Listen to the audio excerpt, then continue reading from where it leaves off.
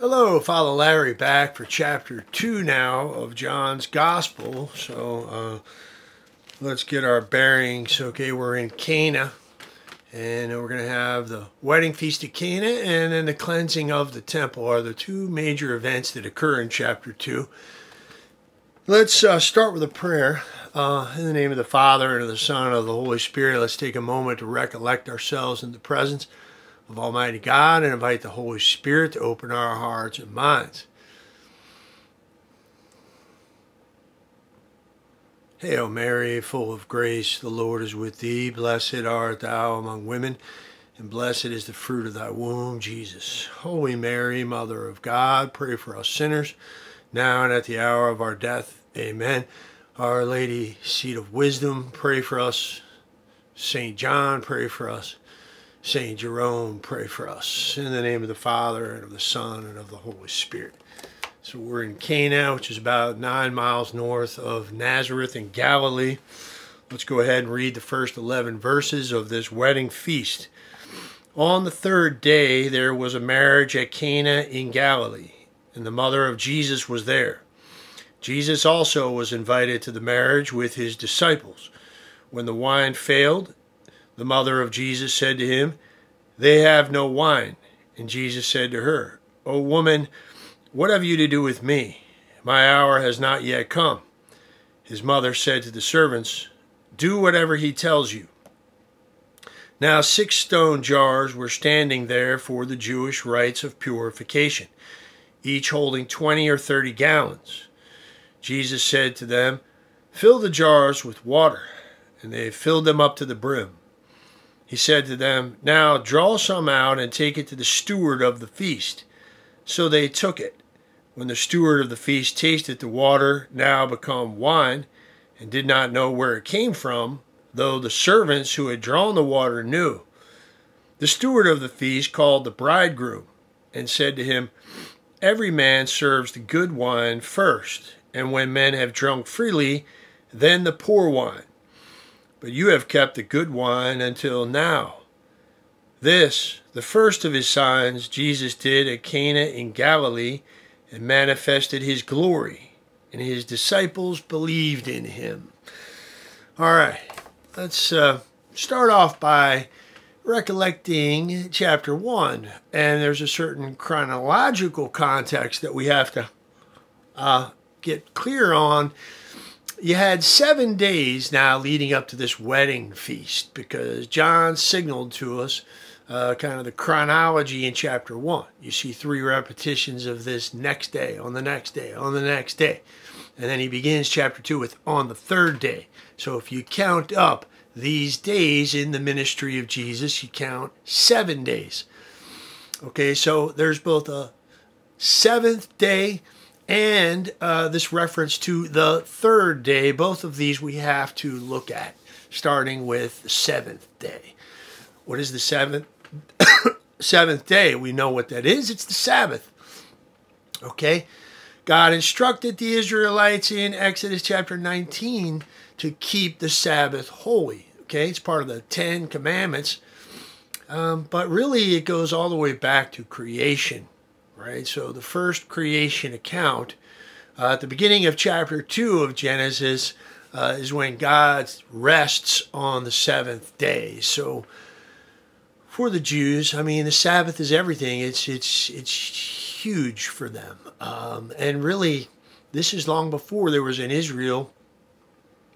Long before the call of Abram, uh, the whole of the human race ultimately is called to the Sabbath day rest.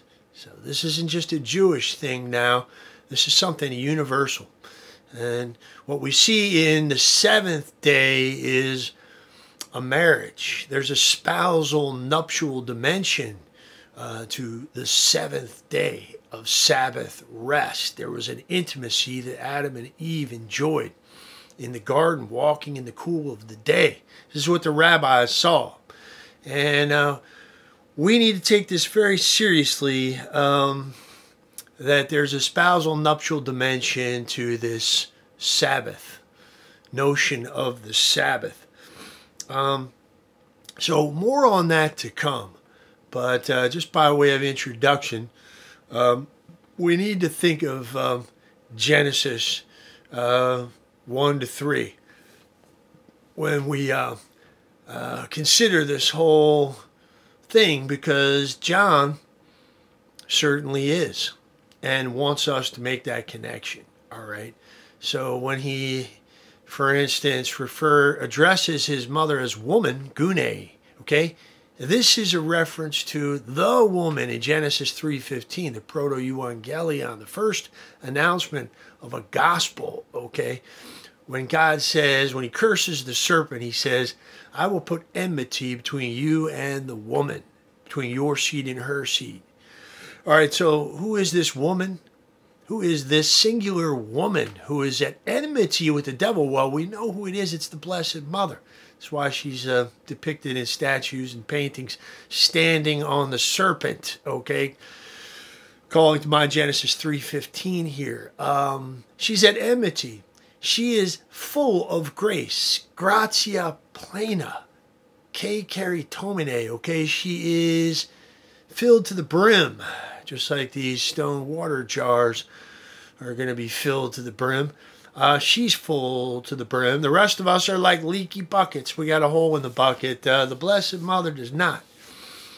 So, so certainly, um, we're seeing here a new Adam in our Lord, and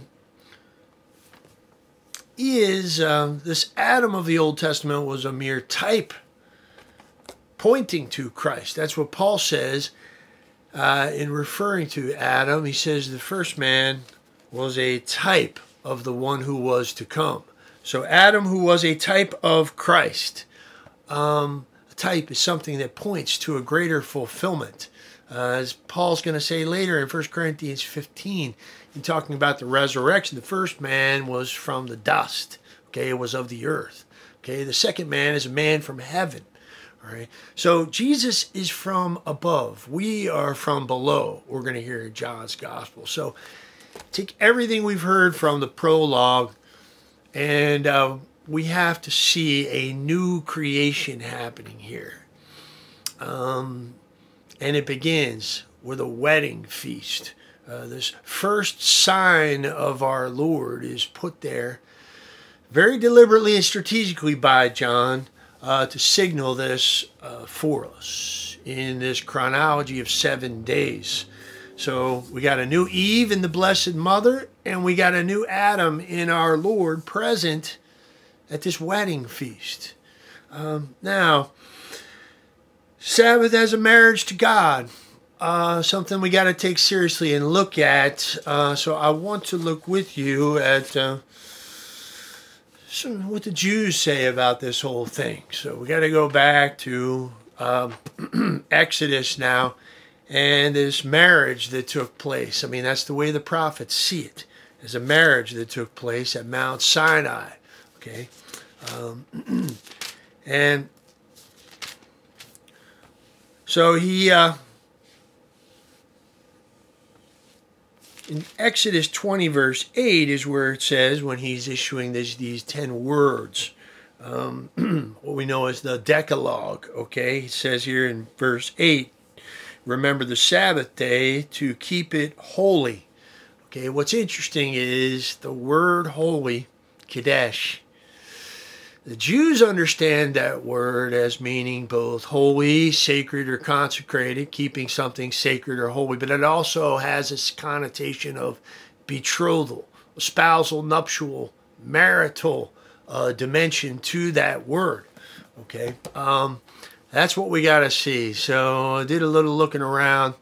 Um, and I see, uh, found a Jewish uh, site that uh, I read this article entitled The Jewish Betrothal, the Kiddushin, okay, from that word Kadesh, all right, that's being used in Exodus 28.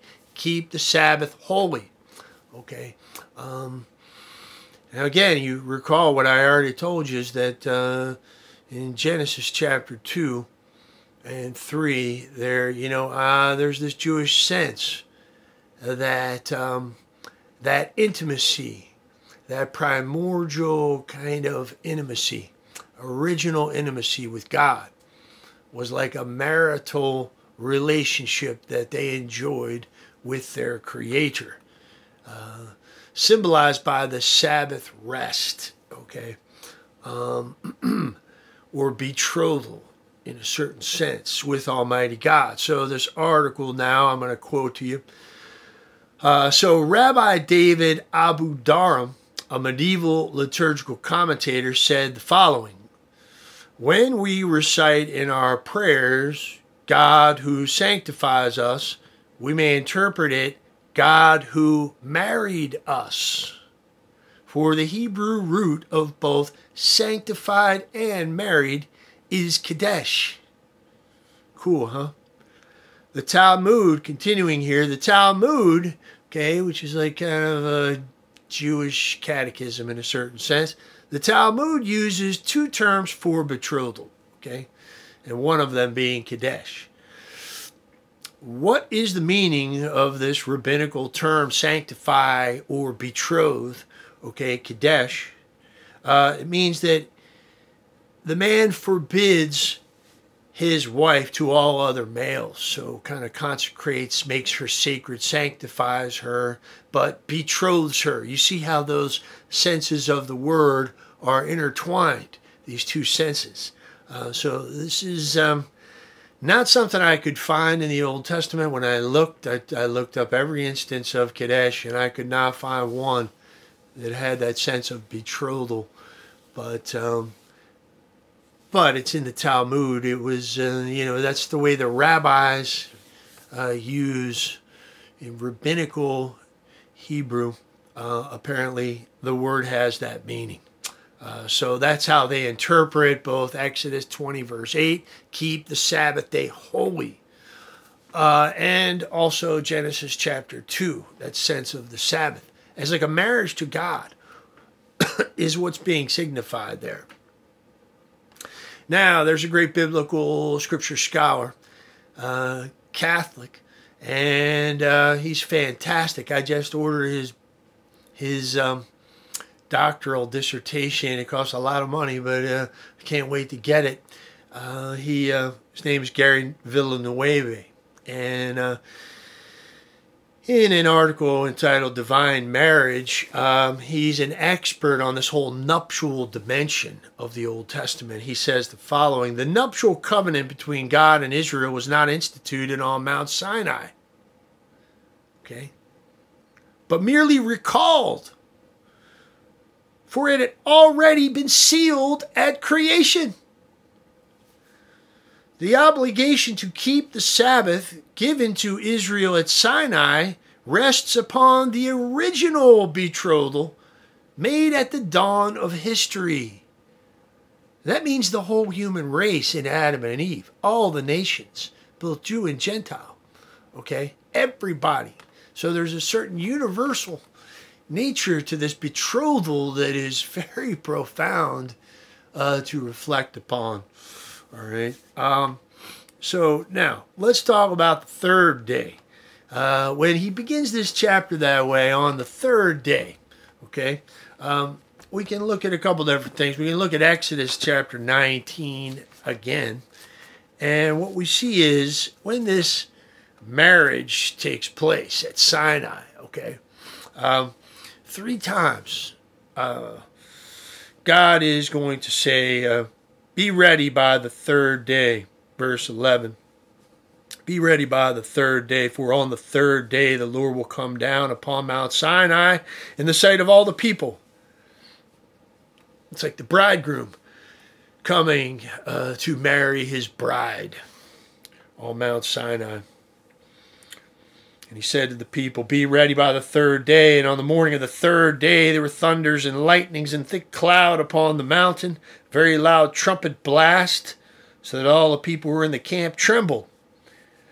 Then Moses brought the people out of the camp to meet God.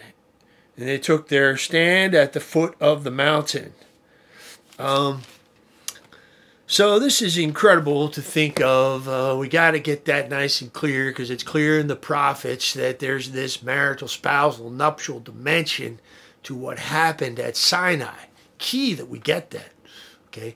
And um, notice that repetition of on the third day, on the third day, on the third day. So here we have at the beginning of John's gospel, the great theologian, John, the eagle.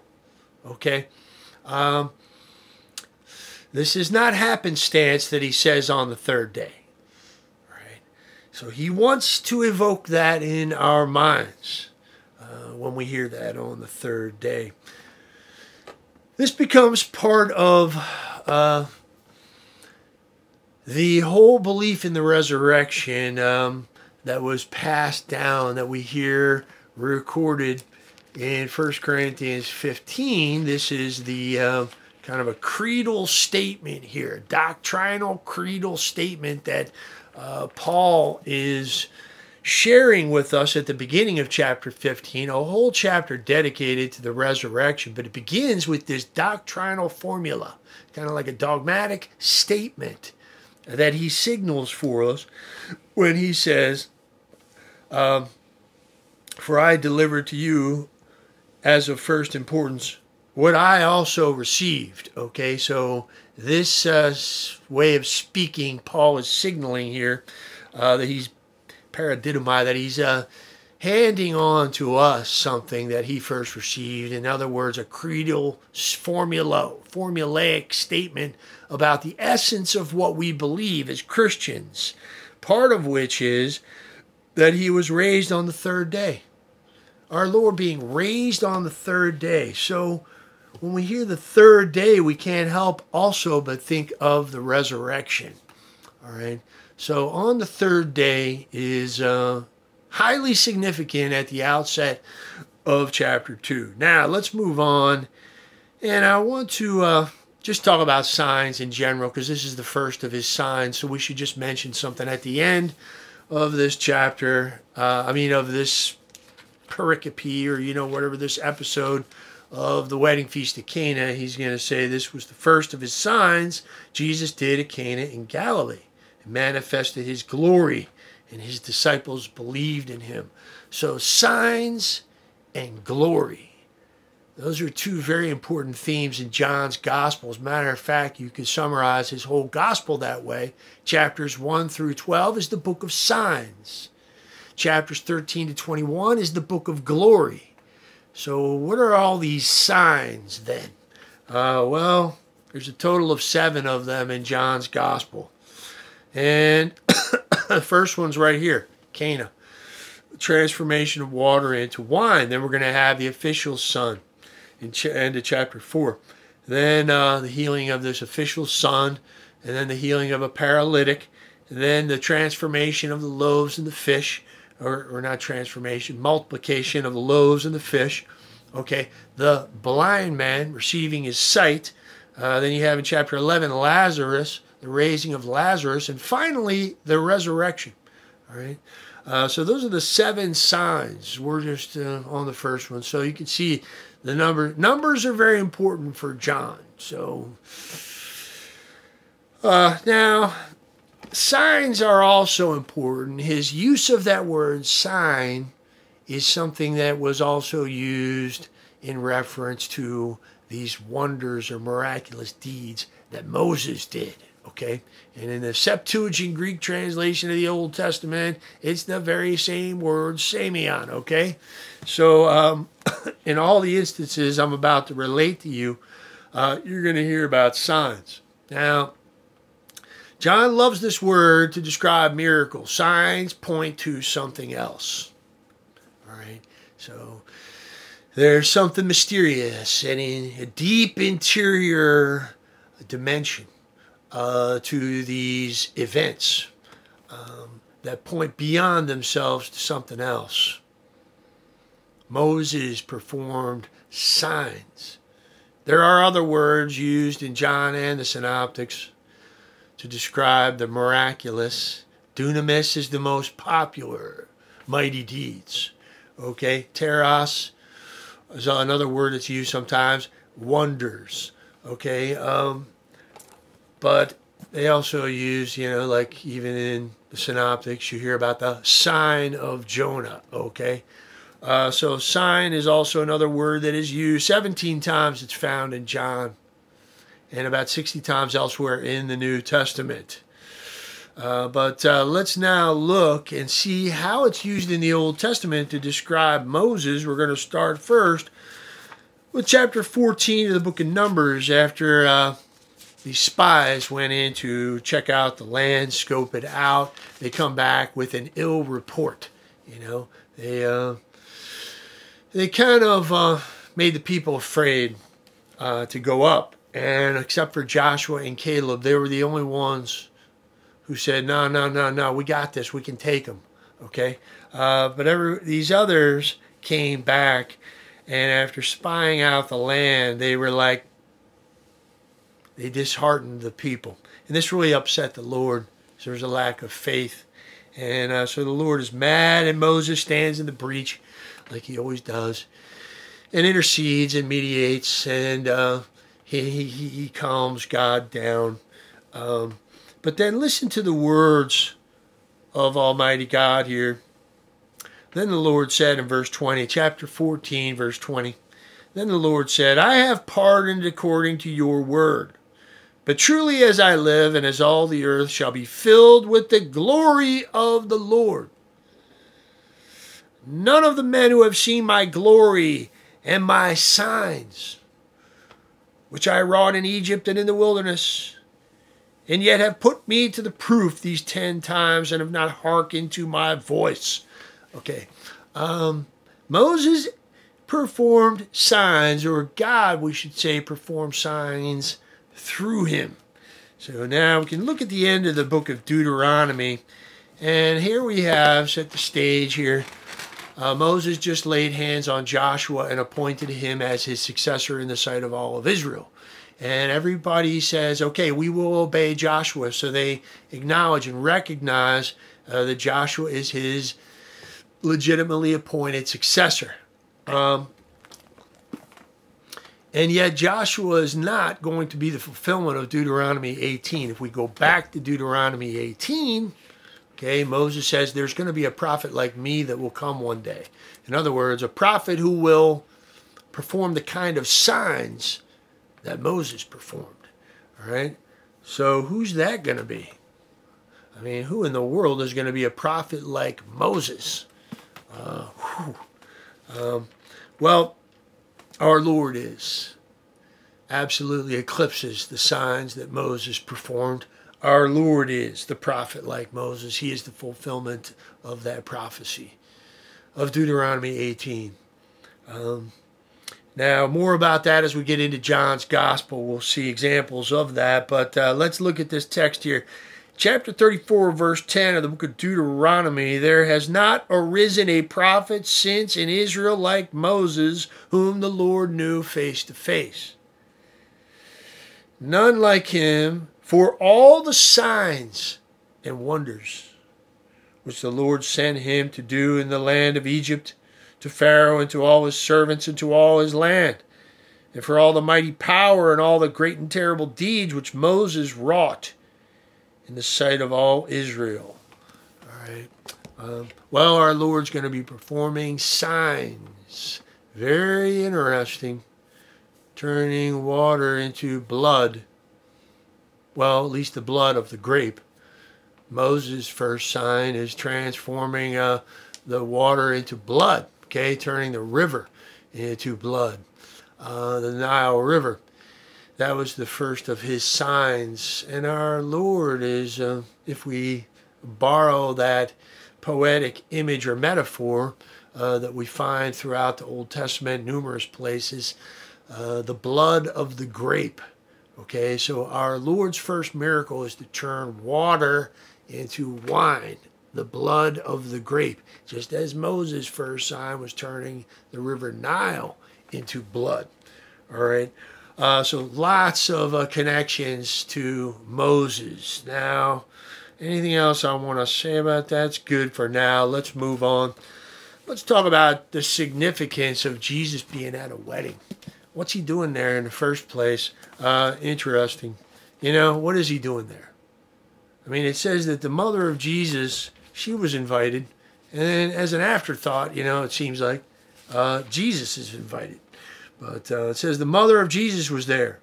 Jesus also was invited along with his disciples. All right. Um, but I think he was just there because the Blessed Mother was there. She must be related somehow or friends uh, with the bride or uh, with the groom. Uh, at least that's what the fathers, some of the fathers of the church surmise from this, starting with Chrysostom. St. John Chrysostom, 4th century doctor of the church, says, Assuredly, they who had invited him had not formed a proper judgment of him, nor did they invite him as some great one but merely as an ordinary acquaintance. Thomas, St. Thomas Aquinas says, Mary's mentioned first to indicate that Jesus was still unknown and not invited to the wedding as a famous person, but merely as one acquaintance among others. For as they invited the mother, so also her son. But at least they invited him. Got to make sure to invite Jesus to our weddings. Uh, the Catechism of the Catholic Church here is going to say on the th- uh, paragraph 1613 on the threshold of his public life jesus performs his first sign at his mother's request during a wedding feast. The church attaches great importance to jesus' presence at the wedding at cana. She sees in it the confirmation of the goodness of marriage and the proclamation that thenceforth marriage will be an efficacious sign of Christ's presence. Now, what drives priests up the wall is couples who come in and want to get married in a gazebo. It's like, what? It just uh, shows uh, uh, incredible ignorance of the faith, um, of reality. Ultimately, the Son of God came down here. Our heavenly bridegroom laid his life down for his bride, the church, to save the whole human race, the most romantic act ever in the history of the human race, in human history. The central saving event. Okay, and it's romantic, it's supreme romance. Oh, it's so romantic. We want to get married in a gazebo. The most romantic place you can possibly get married is in front of that altar at the foot of the cross. Where the most romantic thing ever happened in the history of the human race. Do you know who Jesus is? Do you know anything about salvation history? How he's laying his life down for his bride. And then inviting us to share his body, blood, soul, and divinity, okay, in a one flesh holy communion with God okay, which the Eucharist symbolizes. It's the great symbol of this marriage, the consummation of this marriage, anticipating the heavenly wedding feast of the Lamb. Behold, the Lamb of God who takes away the sins of the world. Blessed are those who are called to the supper. We should say, wedding supper of the Lamb. All right. Awesome. Can't think of another context. If you have two Catholics, what in the world would you want to get married at a gazebo for? Okay uh, you would, if you have any formation in the faith, you know that the only place that you'd ever want to get married is in the context of the holy sacrifice of the Mass. In front of that altar, drives priests up the wall, and they come in all the time, you know, and it's always her that does the talking, and he's sitting next to her on the couch, and I know what's coming, you know. Uh, they start saying, uh, you know, maybe they've tried the gazebo thing and, and they, you know, didn't that didn't fly. Um, like, now nah, we don't do uh, marriages outside the church. Uh, so then she says, well, um, do we have to, uh, she always looks for reassurance to her fiance. I always notice that. So there I am. And she's like, um, do we have to have, uh, like the whole, um, the whole ceremony. I mean, all the um, prayers, like the, uh, you know, the um, the rituals and prayers that you you know. Uh, do we have to do all of that, or I just sit there patiently listening to this whole thing, and I'm like, uh, finally I rescue her and say, um, "Do you mean the holy sacrifice of the mass?" So so often they just want to do a simple uh, marriage liturgy and uh, they want to skip over the prayers and rituals. Um, So it's really amazing there, but for the grace of God, go I. Thankfully, I just had a better formation in the faith along the way, family I was raised in, and thank God I, I caught this whole thing. Uh, but yeah, just I feel sorry for them. That's all. I just feel incredibly sorry for them because uh, they're incredibly deprived, and I do everything I can to try to enlighten them about this whole thing.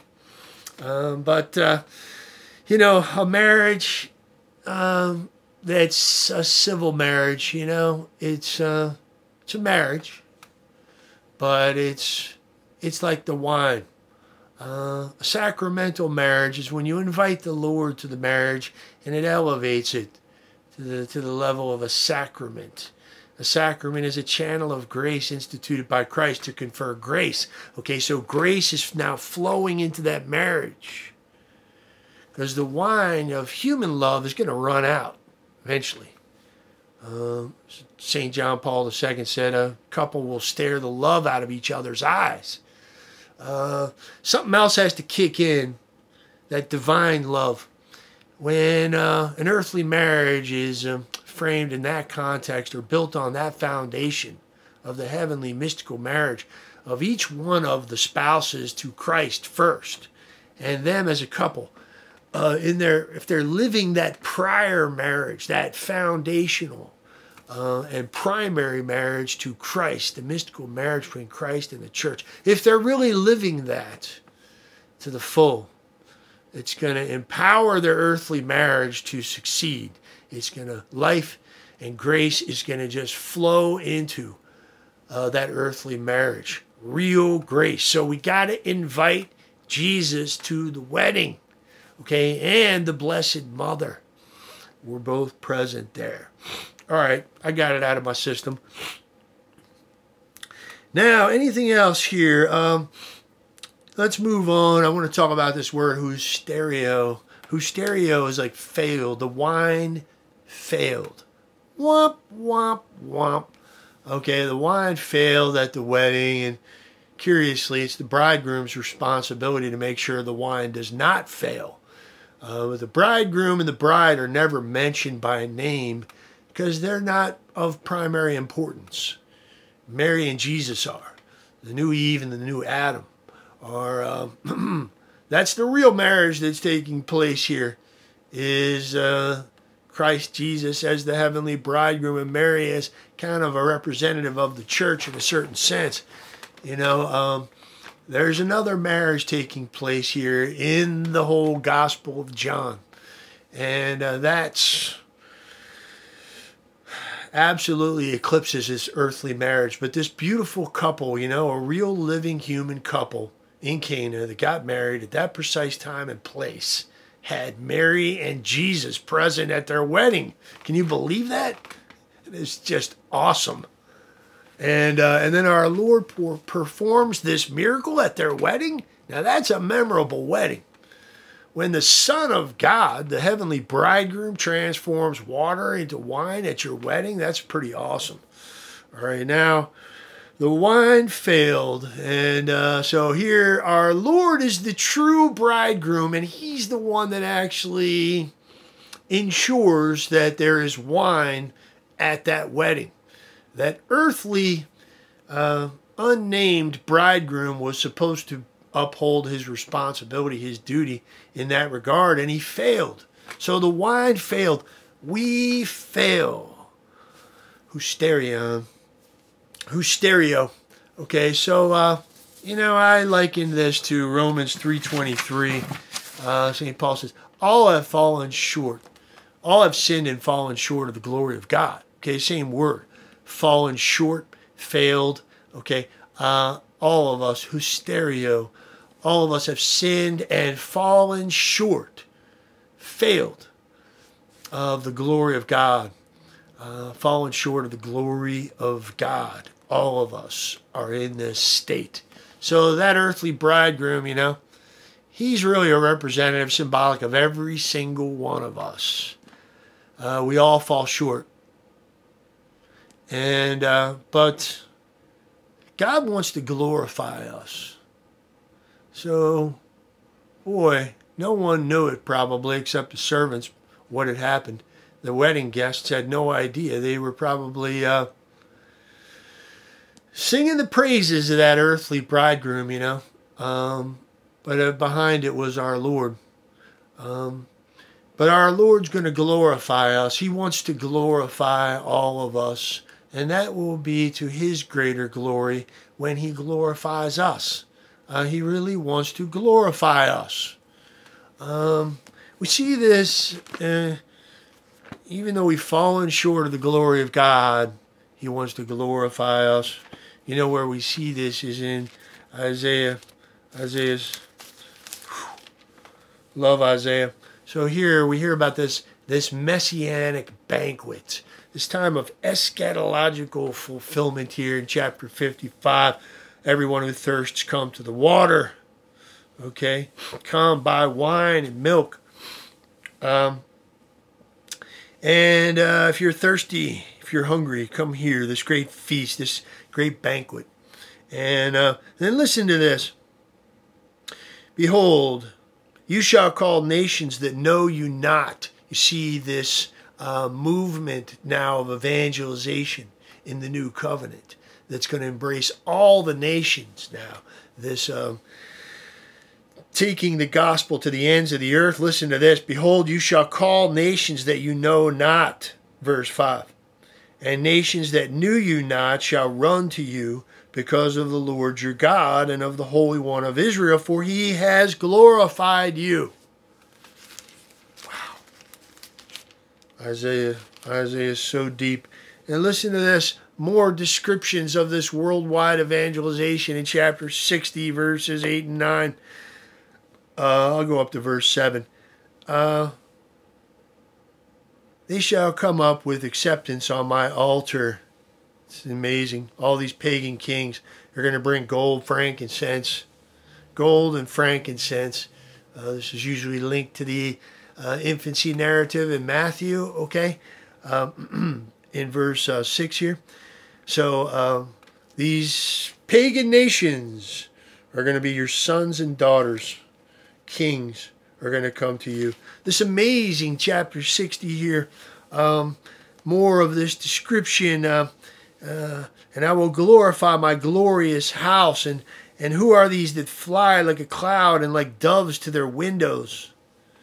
For the coastlands shall wait for me, the ships of Tarshish, to bring your sons from afar, their silver and gold with them, for the name of the Lord your God and for the Holy One of Israel, because he has glorified you. Awesome. Um, this is really uh, powerful. All I can think of is St. Paul when I hear about the coastlands waiting for this proclamation of the gospel, of this good news, of this new covenant is going to reach out to all the nations, the coastlands like of the Mediterranean world and all the islands St. Paul is going to travel to. Uh, all of this is uh, being prefigured or prophetically announced and ultimately he has glorified you. I will glorify you. God wants to glorify us. I just wanted to look at that in the Old Testament first. Now, uh, let's just flip through a couple things in the New. And uh, yeah, we may fall short of the glory of God, but he's going to make up the difference. Listen to this. This is uh, Romans chapter 5, verse 2. Uh, through him we have obtained access to this grace in which we stand and which we rejoice in our hope of sharing the glory of God. Chapter 8, verse 30. Um, and those whom he predestined, he also called. And those whom he called, he also justified. And those whom he justified, he also glorified. Incredible. Chapter 9, verses 22 to 24. Um, what if God, desiring to show his wrath and to make known his power, has endured with much patience the vessels of wrath made for destruction, in order to make known the riches of his glory for the vessels of mercy which he has prepared beforehand for glory? This is all about the Gentiles being brought into the covenant. Okay, these vessels of wrath. now become vessels of mercy. And uh, what? For what? For glory, ultimately. Uh, anything else I want to look at? First Corinthians chapter 15. Back to that chapter 15 again. Let's go to verse 43 here, 42 and 43. Talking about the resurrection. So so is it with the resurrection, so is it with the resurrection of the dead. What is sown perishable, what is raised imperishable. It is sown in dishonor, it is raised in glory. Sown in dishonor, fallen short. And it's going to be raised in glory, folks. Going to be raised in glory. Um, so think of that as you're reading this. Uh, passage. Ultimately, God wants to glorify us. And here's another incredible verse here from uh, 2 Corinthians chapter 3, verse 18. And we all, with unveiled face, beholding the glory of the Lord, are being changed into his likeness from one degree of glory to another. 417. For this slight momentary affliction is preparing for us an eternal weight of glory beyond all comparison. Uh, last couple more, couple more. Colossians 1.27.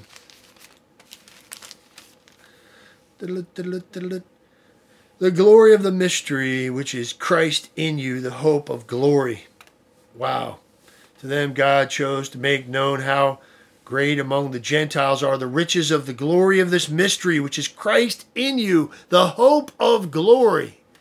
He wants to glorify us when we fall short. Revelation 21 10 and 11. Uh, this is the description of the New Jerusalem here. And uh, might as well go take it all the way through to Revelation here. What do we see? And in the Spirit, the angel shows John in this vision the New Jerusalem. Listen to this. Come, I will show you the bride, the wife of the Lamb. Perfect way to wrap up this little reflection on glory, huh? Um, in the context of the wedding feast of Cana, where's this whole thing going anyway to that wedding feast of the Lamb? Listen to this. Come, I will show you the bride, the wife of the Lamb. And in the Spirit, he carried me away to a great high mountain and showed me the holy city, Jerusalem, coming down out of heaven from God, having the glory of God. The glory of God. All right, so anyway, we all fall short of the glory of God, but God is going to glorify us. Now let's talk here about the woman. She is the gune, okay? This is the Greek word for woman. And uh, the Blessed Mother I spoke of in Genesis 3.15, she is that woman that was prophetically uh, announced. Uh, it's not Eve, okay, but it's the new Eve, okay? The Blessed Mother is this new Eve. She is this woman so when our Lord says woman, dresses her as woman, uh, that, that's striking. I mean, on one hand, there's nothing unusual about addressing a someone who's not your mother as a woman. That in antiquity, at this time, uh, that was a term of respect. Uh, it sounds weird in English. You don't go around saying, "Woman, get over here." You just picture some guy, in his wife beat her T-shirt, you know. Um, but no, woman, I mean, our Lord addresses the Samaritan woman at the well as woman in chapter 4. He's going to address the woman caught in adultery as woman. He's going to address Mary Magdalene as woman. Okay, so it's it's not necessarily a a rude way to address a woman. All right, now um, uh, but what's so unique here is that uh, you don't have any cases anywhere that you can find uh, in antiquity of a, a son calling his mother woman. So our Lord, when he addresses her in this way, does so in a very mysterious fashion. Um, he's signaling for us that she is this gune. Uh, Genesis 3:15. She is the woman who has an enmity with the devil. She is this new Eve.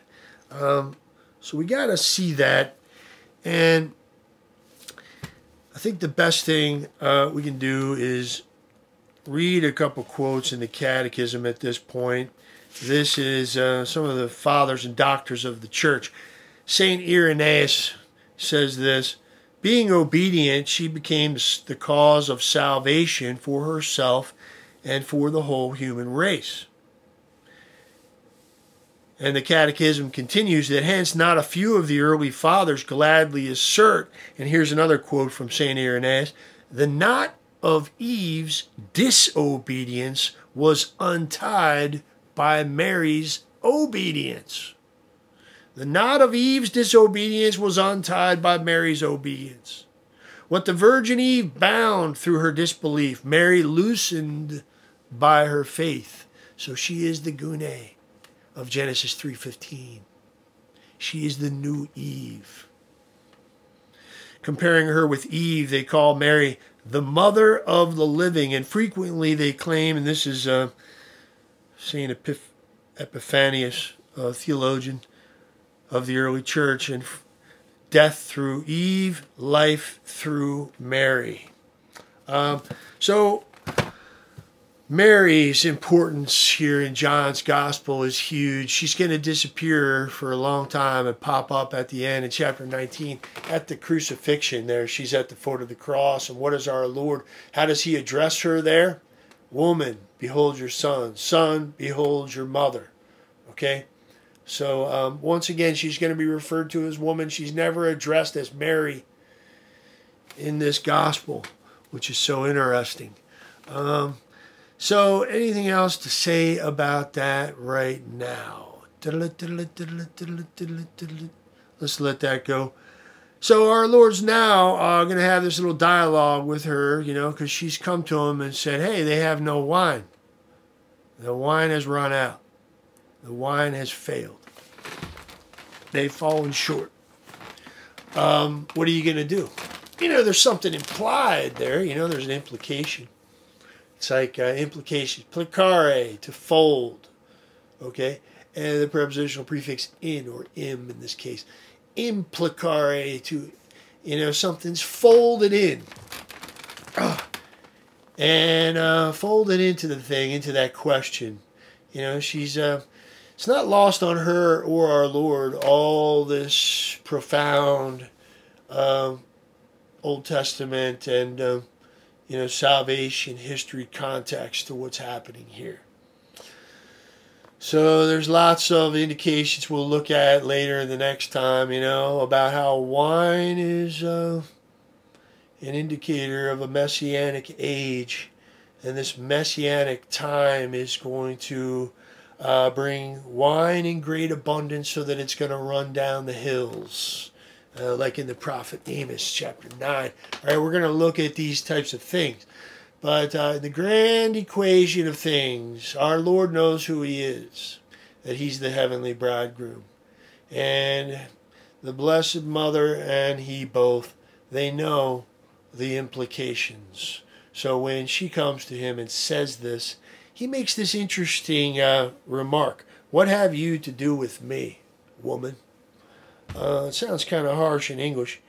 Uh, but look, um, this is a common Semitic expression that we can find examples of in the Old Testament. I mean, it's literally what to me and to you, woman. It's a very odd, sounds very strange in English, but it's found in the Old Testament. I was struck by how many times, how many places it appeared, at least five or six different places. And there's a couple I thought we could look at just for fun. So let's turn to 2 Kings chapter 3, verse 13, and look at uh, an instance of this. This is the great prophet Elisha. Elisha is the successor of Elijah. Remember when Elijah went up in the chariot of fire? Okay, he dropped his mantle, passed his mantle to Elisha. Okay, this dual ministry uh, is prophetic and prefigures, foreshadows the dual ministry of Jesus and John the Baptist. So John the Baptist is this new Elijah. He came in the spirit and power of Elijah. And Elijah was prophetically foretold to come before the Messiah. Okay, and then Jesus is like the prophet Elisha, who performed even greater miracles than Elijah did, since he received a double portion of the blessing of Elijah before he uh, was taken up. Um, so this is Elisha, not Elijah, but Elisha in chapter 3 of Second Kings here. So let's pick it up in verse 13. And uh, Elisha, he's, he doesn't like the king of Israel. He doesn't have a whole lot of respect for him because he's very duplicitous.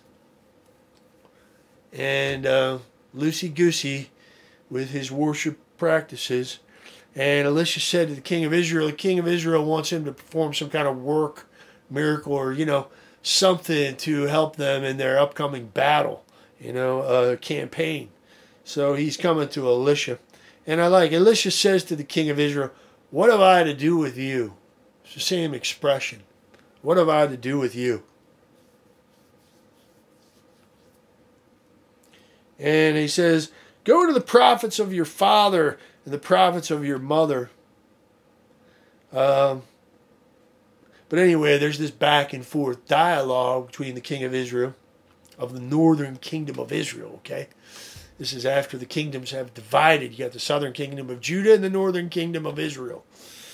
And uh, for the sake of Jehoshaphat, the king of Judah in the south, Elisha says, because of the king of Judah, and in my respect or high regard, my regard for him, I'll help you out.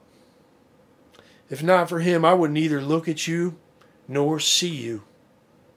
Um, but now, um, the power of the Lord came upon him, and you know, eventually he performs this miracle. And uh, this is a light thing in the sight of the Lord. He he later says. Okay, so look, Elisha, um, you know, starts this dialogue with that interesting question. Elisha, who interestingly enough, is kind of prefigures our Lord Himself as the successor of Saint John the Baptist. This prophet, you know, uh, like Elijah, in the spirit and power of Elijah. So he uh, he eventually concedes to the request. Okay, um, that's what's. Uh, it's just interesting to see the use of that expression. I want to look at one more with you. Second Chronicles chapter thirty-five, verse twenty-one. Now, yeah, here we just have this Egyptian king Necho, and he's having a dialogue with the king of Judah, Josiah. And he doesn't want anything to do with Josiah. He's not there to fight Josiah. He's just trying to get up there. You know, he's got some other battles to fight with the Syrians or something, I forget. And uh, so, yeah, he's just passing through. And I don't know, Josiah wants to pick a fight with him or something. And uh, it's interesting. But he says the same thing to Josiah the king. He says, What have you what have we to do with each other? Interesting. Um, so he's not saying it in a way that's adversarial, quite the opposite. He's saying, Look, I, I you know, what do you want from me? You know, um, I'm not uh, looking for trouble with you. Um, so anyway, uh, what else can I say about that? Let's leave that alone here. Our Lord says, My hour has not yet come. Okay? Um, so he basically tells her no to what she's implying. But what a strange way to interpret this to say that Mary is now going to disobey his express intention. He does not wish to do this miracle. He's made that explicitly clear. He says, No. What is this to do with you or me? My hour has not yet come. That seems pretty definitive, I suppose, on the face of it when you're hearing it in English. Uh, but then the Blessed Mother, seemingly against his will, the one who is so obedient, whose faith unloosens the knot, or whose obedience loosens the knot of the first Eve's disobedience, this obedient Blessed Mother who is full of grace and entirely the handmaid of the Lord. Okay? The maid servant of the Lord. Um, totally guileless and innocent, immaculate in every way, is now going to go against his express wishes and calls the servants over and says, Do whatever he tells you. Some people might say that, you know, I've heard Protestants try to make this argument, but you know, the counter argument uh, is pretty strong too. Well, if really she's being disobedient and pushy, pushing her will into this situation, being this controlling Jewish mother, uh, well, our Lord complies. So is he being disobedient? Is he complicit, folded in with uh, her disobedience because he caves to her wishes? So you have two people who are immaculate one by nature, our Lord, the other by grace, the Blessed Mother. Okay? Neither one of them, that is such a superficial, shallow way of reading this text. That is not the way to read this text. Um, but there's something interesting here that the Blessed Mother takes the initiative in this. And it's like our Lord allows her to do it. Some kind of communication is going on uh, between them uh, that's way over our heads. Uh, but they were on the same wavelength and they saw all the context and there's a spiritual discernment that two people who have who do not have the static on the brain that the rest of us uh, have as a result of our darkened intellects. Uh, these are two pure souls um, the two pure souls that ever walked the face of the earth. Um, and we just can't imagine this new adam and eve they work together here in this instance uh, to perform this miracle. Um, our Lord, the Blessed Mother interceded. First, she intercedes with her son. She's a go-between. That's what an intercessor is. Chedo, chedere, chesi, chesus. Chedo or chedere, okay, is this word to uh, to go in Latin. One of the words to go. And uh, to recess, to process, to access, okay, uh, to go. Um, and and then you uh, tack on this prepositional prefix inter in the midst of or among or between. Okay, so somebody who goes between, a go between. Uh, that's what an intercessor is. The Blessed Mother is an intercessor here. On the one hand, she's going to her son uh, and on the other hand, she's exhorting the servants, do whatever he tells you. It's so neat. Um, I like what St. Uh, Thomas Aquinas says here. He says, you know, to say do whatever he tells you, uh, the phrase is not fittingly said except of God alone, for man is able to err at times. So it's so interesting. She turns to them and says, do whatever he tells you. First, he's going to say, Look, my hour has not yet come. It's interesting because it could presume that there's some correlation here between the wine and his hour. Presumably, the Eucharist, you know, the Last Supper, um, is what's being indicated here. Um, for our Lord to say that seems like he's catching her drift, you know. My hour has not yet come. He knows that what she's implying has to do with his hour. And his hour is going to involve ultimately the establishment of the Eucharist, I think, is the most plausible explanation for what he's what's what's the subtext here uh, going on uh, maybe that's what it is. Uh, let's read the catechism on this 2618 and see what it says. Uh, the gospel reveals to us how Mary prays and intercedes in faith. At Cana, the mother of Jesus asks her son for the needs of a wedding feast. This is the sign of another feast, that of the wedding feast of the Lamb where he gives his body and blood at the request of the church, his bride. It is at the hour of the new covenant at the foot of the cross that Mary is heard as the woman, the new Eve, the true mother of all the living. Wow. I mean, we can think of John chapter 6, you know, uh, and think as we're hearing him say that, my hour is not yet come.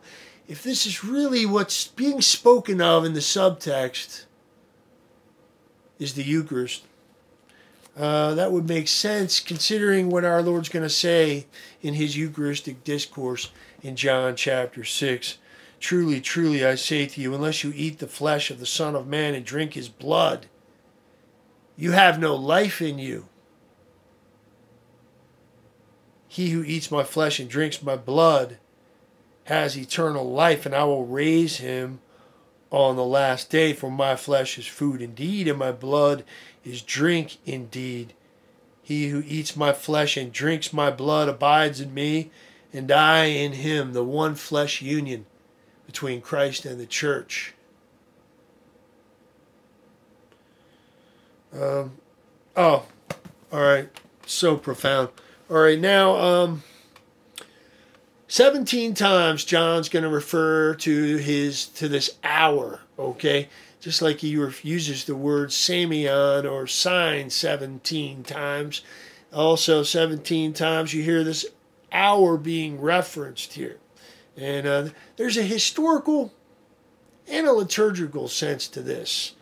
Um, you know, let's talk about the liturgical sense. I mean, what our Lord is really coming to do, and this is what we got to understand when we look at the whole wedding feast of Cana at large, is our Lord's coming not to abolish but to fulfill. I did not come to abolish the law and the prophets, but to fulfill them.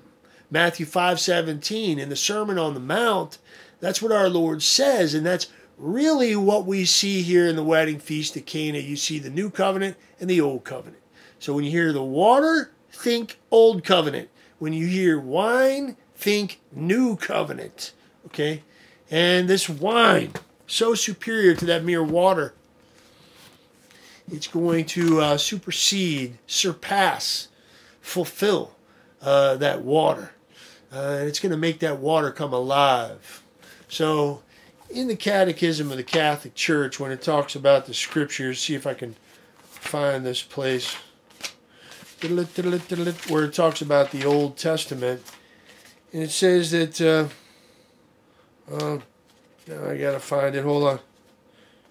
Uh, uh, the New Testament. The New Testament, or this wine, lies hidden in the water in the Old. The New Testament lies hidden in the Old Testament. It's in there, but until you turn to the Lord, as St. Paul's going to say in 1 Corinthians. Okay, when a person, 2 Corinthians or 1 Corinthians? Uh, St. Paul's going to say that, though. You have to turn to the Lord, Second Corinthians. Uh, and then it's like the veil is removed and you suddenly see the Old Testament come off the page. When a person turns to the Lord, you have this transformation of water into wine. That Old Testament text is like water until you turn to the Lord. And then when you turn to the Lord, your heart is set on fire like the apostles or like the two disciples on the road to Emmaus, okay? He opened their mind to the understanding of the scriptures, of the power of the Holy Spirit and this New Testament lens, you turn and shine that back on the Old Testament, and that water is transformed into wine. Awesome. The old the New Testament lies hidden in the old, and the Old Testament is unveiled in the new. This is an expression used or formulaic way of describing this relationship or dynamic between the Old Covenant and the New Covenant. Old Testament, New Testament St. Augustine coined that expression. Yeah. Anyway, um, so we're running out of time, but I want to get to a stopping point a little further along here. So I am actually going to push on just a little bit over an hour. It's probably going to take me an hour and 20 minutes to get through this. Sorry, but I just want to um, I want to try to wrap up the whole uh, chapter two in two classes.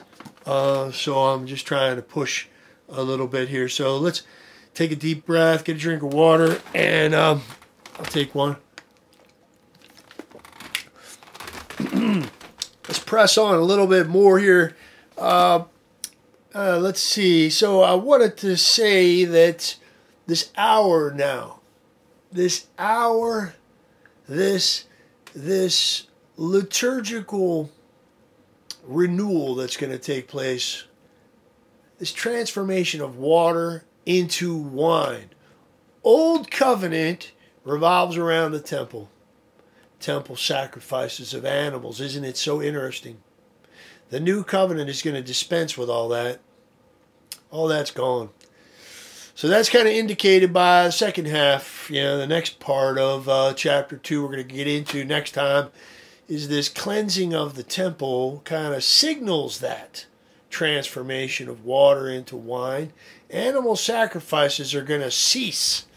We heard about that prophetically described in the book of Daniel, okay, in chapter 9, this incredibly important chapter where you have the arch archangel archangel Gabriel describing this vision providing this vision of the future to the prophet Daniel where he tells him that uh, in 470 years from the moment this is incredible uh, I don't know if I want to get into this whole thing but he says in 470 years, or 70 weeks of years, okay? Uh, from the moment the decree goes out to send the Israelites, the Jews, back to restore the temple, when they are sent back, we know when that happens. The Persian king Artaxerxes uh, sends them back, and we can read about that in Ezra chapter 7, verses 11 to 28. Okay? And we can pinpoint that through biblical and extra biblical sources, okay? We know right about 457. Right around 457 BC, okay, a decree was written uh, sending the Israelites back. And that's when in Daniel chapter 9, the archangel Gabriel told him, start the clock ticking 470 years. From that decree going out, uh, something amazing is going to happen. An anointed one is going to come to put an end to sin and to atone for iniquity. I'm not making this up. And an anointed one's going to come, and guess what? He's going to be cut off. It's another way of saying he's going to be executed. An anointed one is going to be executed. Um, and the city's going to be destroyed. And um, he will make a strong covenant with many, and then um, he shall cause sacrifice and offering to cease. Wow. Isn't that unbelievable? Uh, chapter 9, the book of Daniel. Amazing. The prophecy of the 70 weeks of years, the 470 years. It's a prof- it's a powerful, powerful motive of credibility uh, to help one come to faith in Christianity when you read that because clearly Christians did not write that. And when you subtract 470 from 457 BC and you count backwards, you know, or forwards 470 years, like your Archangel Gabriel tells Daniel to do, guess where you wind up? 33 AD. Okay? Not making this up. Forgiveness of sins atonement for all iniquity, an anointed one who's going to be put to death. The temple's going to be destroyed, and this anointed one is going to um, make a covenant with many, and all, and he will stop all animal sacrifices. Uh, so there's a displacement here. This new covenant is going to usher in a new style of worship in the next couple chapters from now, when he's talking to the Samaritan woman, he kind of indicates this when he tells her, when she's asking about, you know, which mountain, we don't know what mountain to worship on. You got your mountain, you know, we're Samaritans, we got our mountain. And uh, which mountain is it? And then our Lord says something very mysterious to her, indicating the new covenant, the entrance of the new covenant. He says, the hour is coming and now is when the true worshippers will worship the Father in spirit and in truth, for such the Father seeks to worship him. Um, anyway, uh, very interesting here. Uh, so, this cleansing of the temple is very, very interesting. indicative of this this shift liturgically uh, that's going to take place from the old covenant to the new covenant. The new covenant sacrifice is a unbloody one.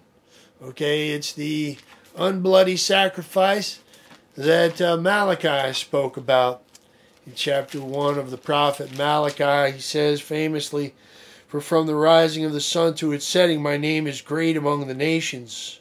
And in every place, incense is offered to my name. In every place, not just in Jerusalem. In every place, incense is offered to my name, and a pure offering for my name is great among the nations, a pure offering. Okay, this is the holy sacrifice of the Mass that's going to be offered from the rising of the sun to its setting. Our Lord's name is going to be great among the nations. In every place, incense is going to be offered, and a pure offering, for my name is great among the nations. Okay, uh, I don't want to go too far afield here, but we need to just get real clear on what's happening in John's gospel. What he sees. A man writing this thing who's celebrated the sacraments now for decades and is deep into this whole mystery. The great theologian, the great eagle. Okay, winding down here. Um, I, uh, you know, we could look at Psalm 50, verse 14. We could look at Psalm 40, verses 6 to 8, you know, where you see kind of like prophetic prefigurements of this displacement, or at least of God's intention ultimately to do away with animal sacrifice at some point. Because he clearly indicates in these two particular Psalms, Psalm 40 and Psalm 50, uh, that, uh, you know, he doesn't need any of these sacrifices. It's not like the pagan gods. It's almost like a concession to human and custom and so forth to allow us to do this for a period of time. He kind of like concedes to it, uh, this human um, kind of instinct. Uh, but ultimately, he doesn't need any of that stuff. If he's hungry, he wouldn't tell us. Okay? Um, ultimately, this New Testament sacrifice of the Eucharist is what God really wants. Read Psalm 50 and you'll get that. Uh, you want to make God happy? Offer Him a sacrifice of thanksgiving, a sacrifice of praise, uh, the most holy Eucharist. All right, now uh, let's uh, talk about a couple more things. Do whatever He tells you. I mentioned the Blessed Mother said that. These are her final words. She's not going to say anything else. That's it. Genesis 49:11. It's just interesting because that's what uh, not 49:11. Genesis uh, 41:55. It's the words of Pharaoh. You know, at the time of this famine, it's just interesting. Go to Joseph. Do whatever he says. Whatever he says to you to do, do it. Uh, it's very interesting. Um, the Blessed Mother, when she says this, you can connect it to a couple things. You can connect it to that Pharaoh and Joseph. Joseph, who's going to do what? He's going to feed the nations, okay, with this grain reserves that he's kept up, and uh, because he for, yeah, it's it's cool, and all the earth came to Joseph to buy grain. All right, uh, the the prime minister of Egypt. But I love these words of Pharaoh to all the Egyptians. Go to Joseph, ite ad Joseph. Go to Joseph. What he says, what he says to you, do. Okay? So it's like the Blessed Mother turns, says, hey, whatever he tells you to do, do it. Just do it.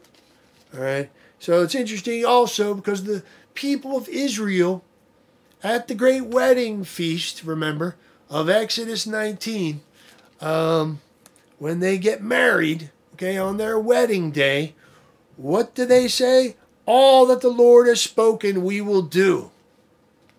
It's very interesting. The Blessed Mother says, Do whatever He tells you. Again, on the third day, on the third day, on the third day, on the third day, Exodus 19, this wedding that took place on the third day at Mount Sinai. Now, fast forward to the wedding feast of Cana on the third day. And what did the people say at Mount Sinai on their wedding day? They said, All that the Lord has spoken, we will do. What does the Blessed Mother say at the wedding feast of Cana? Do whatever He tells you. Um, so cool. We can also look ahead a little bit of uh, Exodus 24, verse 3. Once again, they repeat this very same thing. Uh, Moses came and told the people all the words of the Lord, and the people respond, All the words which the Lord has spoken, we will do. And they repeat it again in verse 11 here. Um, I think, hold on. Verse 7. All that the Lord has spoken, we will do, and we will be obedient. So it's just interesting uh, that you have this whole thing, uh, this all this interconnectivity. So Mary's an a intercessor. Now let's talk about the stone jars, and we're almost done. Hang in there. Six stone jars, you know, 20 to 30 gallons apiece. Unbelievable. Uh, so it's either 120 to 180 gallons, man. How many people are at this thing? You ever drank a gallon of wine? I tried to when I was a freshman at a family get together. My Uncle Sam's. He's on the other side now. Hopefully, we can have a big laugh about this someday on the other side. But I wasn't laughing that night. Uh, I was a freshman in high school, and I didn't know. I was just. Uh, I wanted to see what it was like to be intoxicated. Anybody ever done this? So I was bored out of my mind at this family get together, and for some reason I thought wine wasn't that uh, strong. You know, I didn't know anything about alcohol. I'd never had alcohol before.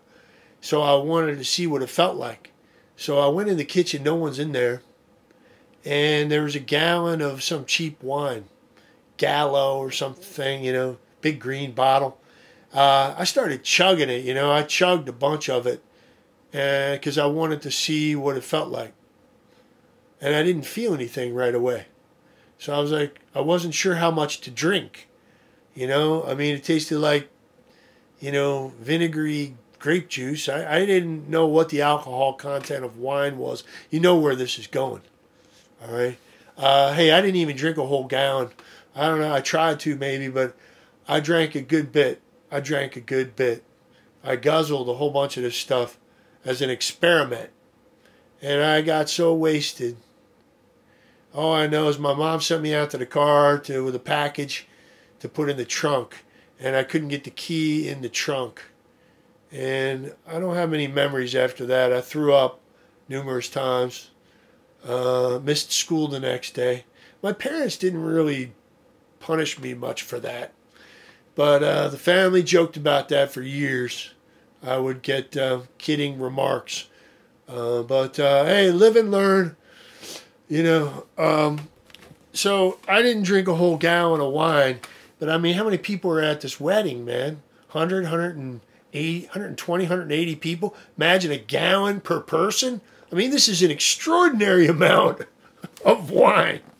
All right, extraordinary amount of wine. It's just awesome. Um, how God is just, he thinks big. He thinks big and he also thinks small. Um, all right, so, you know, six stone jars we could connect that with Numbers 19. Numbers 19 is interesting because it talks about the ritual of purification when you touch a dead body. And what's so interesting, it says uh, it prescribes what you're to do on the third and seventh day. Does that have anything to do with the wedding feast of Cana? Third and seventh day. If you touch a dead body. Uh, you're to go through these ritual baths with water and you use a hyssop. You take hyssop and dip it in the water and you sprinkle it upon things that need to be uh, purified. It's pretty interesting if you wanted to read uh, Numbers chapter 19, verses 11 to 22, 11 to the end. Uh, it's just kind of cool to read about. But notice the repetition of third and seventh day. And uh, person's going to be unclean for seven days.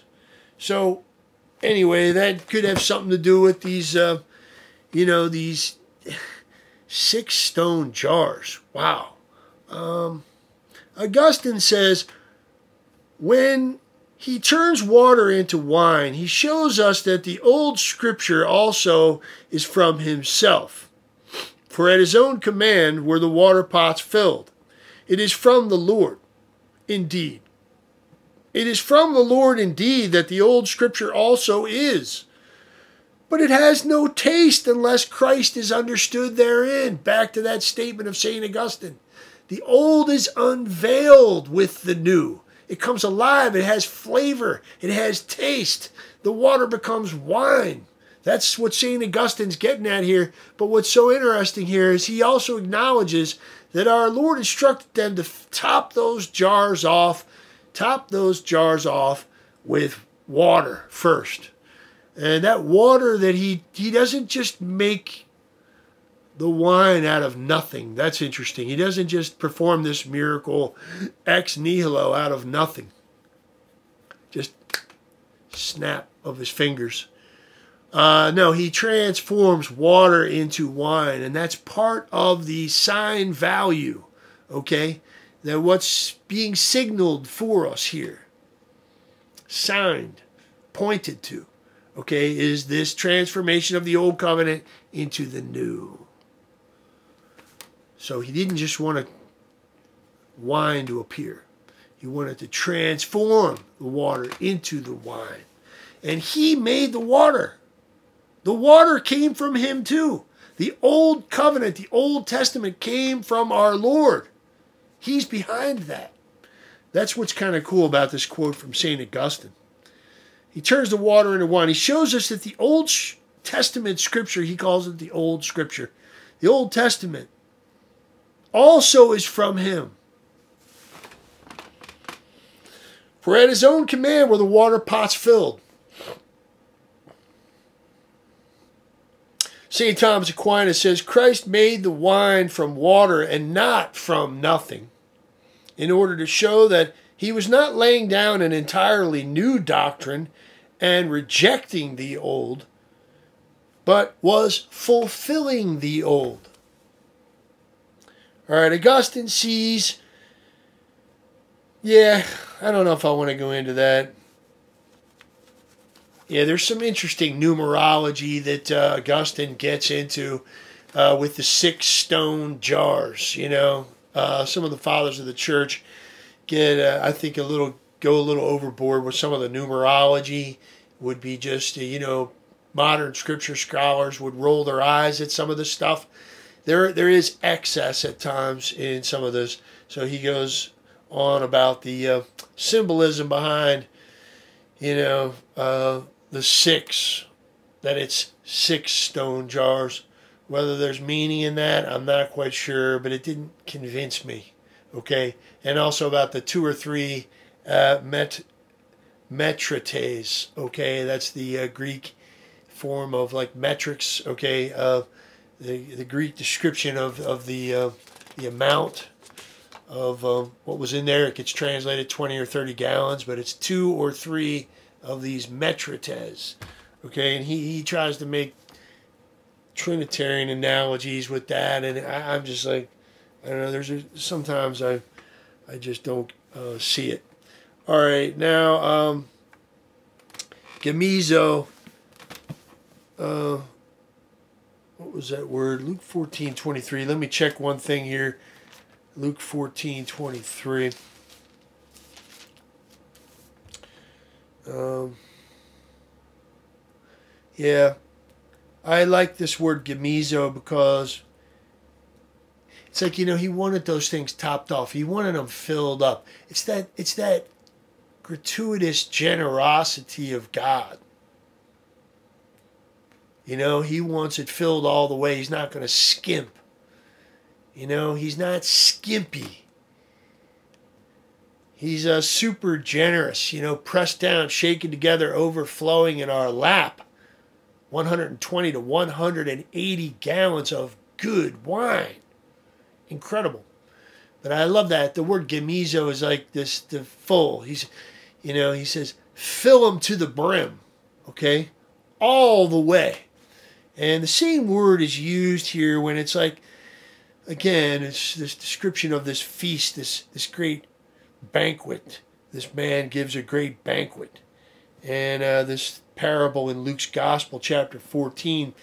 And uh, it's like the master said to the servant, Go to the highways and hedges and compel people to come in, that my house may be filled to the brim. You know, I love that generosity of the heart of God.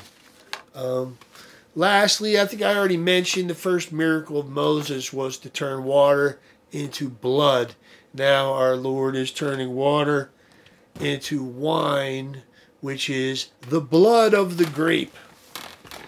You can look at different things if you want. You can see examples of the use of this poetic metaphor in the Old Testament, Genesis 49 11, Deuteronomy 32 14, Sirach 39 26, 1 Maccabees 6 34. All right, we went a little long. Hope you enjoyed it. And we'll hit it again next time, folks. God bless you.